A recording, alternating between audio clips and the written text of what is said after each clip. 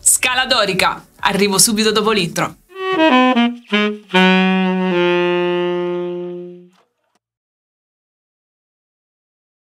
Ciao, sono Emanuela e sono una clarinettista e sassofonista professionista. Mi occupo essenzialmente di didattica, con lezioni nel mio studio di Bergamo e soprattutto online.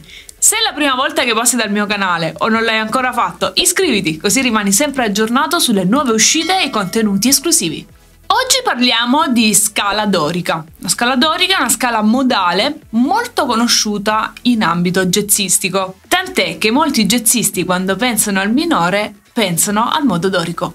La scala dorica ha una terza minore, una quinta giusta e una settima minore, proprio come le scale frigie ed eolie, che sono minori anche loro, ma di queste scale ti parlerò in un'altra pillola. Ma la scala dorica ha un sesto grado tutto speciale. Infatti si può dire che la scala dorica è una scala minore che ha una sesta maggiore, detto anche B quadro 13 a differenza della scala minore eolia per esempio che invece ha bemolle 13. E tu mi chiederai, e come la ricavo in modo facile senza dovermi strappare i capelli? Molto semplice. La scala dorica sappiamo che è una scala che deriva dalla scala madre che si trova un tono intero indietro. Quindi facendo l'esempio per esempio di Do, Do è il secondo grado di Si bemolle, quindi è una scala di Si bemolle che parte dal Do. Le note di Do dorico sono Do, Re, Mi bemolle, Fa, Sol, La, Si bemolle, Do, perché mantiene le stesse alterazioni di Si bemolle.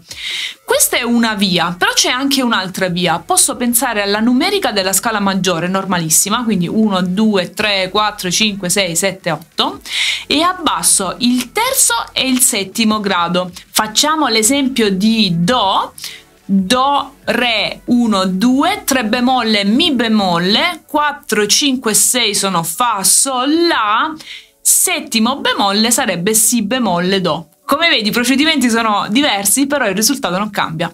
In criterio di stabilità, la scala dorica è una scala molto molto utilizzata, come dicevo prima, tant'è che alcuni jazzisti pensano direttamente al dorico quando pensano al minore, perché al suo interno il criterio di stabilità è che non contiene il famosissimo tritono.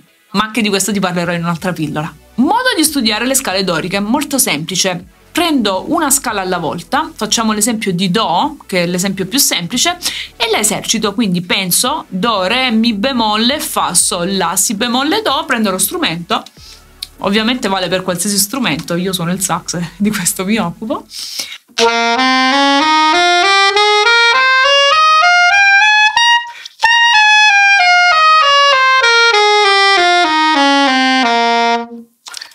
Quando la so bene posso incominciare a metterla con un tempo di swing.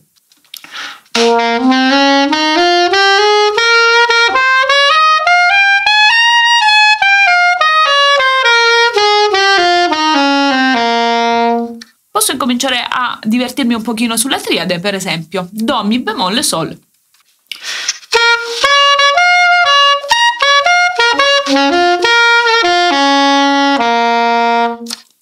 o sulla quadriade Do Mi bemolle Sol Si bemolle.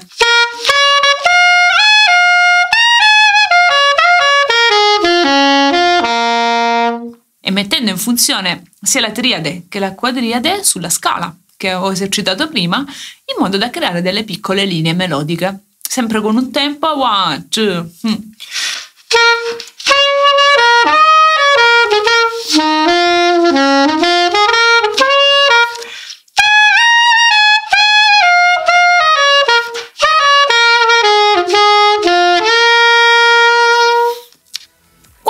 studi, mi raccomando, mi raccomando, sii sempre creativo nel tuo studio, non prendere una cosa e farla così 200 volte di fila, perché t'annoi un sacco. Inventa sempre qualcosa di nuovo. Crea la struttura matematica giusta, impara le note, ma dopo sii creativo in tutto quello che fai, è molto molto importante.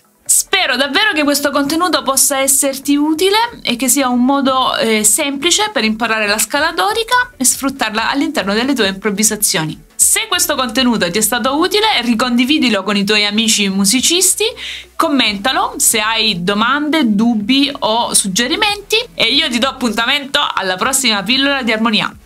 Ciao ciao!